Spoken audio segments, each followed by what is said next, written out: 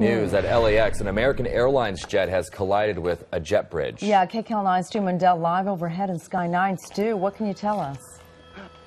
Well, they're still working on the details. Maybe the jet bridge collided with the aircraft. That's what they're working on down there. No injuries to anybody, and it happens kind of eh, regularly out here at LAX, maybe more than they would like to uh, even mention. But it's happened out here this afternoon. This is going to be the American Airlines terminal, gate number 41. You can see the aircraft already has moved off. They sent it out to maintenance to be checked, and right now they still have some investigators out here looking at the actual bridge itself. That's the bridge that they were talking about. Apparently, it had bumped into one of the cowlings. No injuries injuries to anybody on the aircraft or on that walkway when this happened, but on a busy day like today, they want to have all those gates available. This one right now, you can see they're just checking it out to make sure it is available, but right now it is not, so it may cause some delays out here at LAX. Live in Sky 9, I'm Stu Mundel. Back to you two in the studio.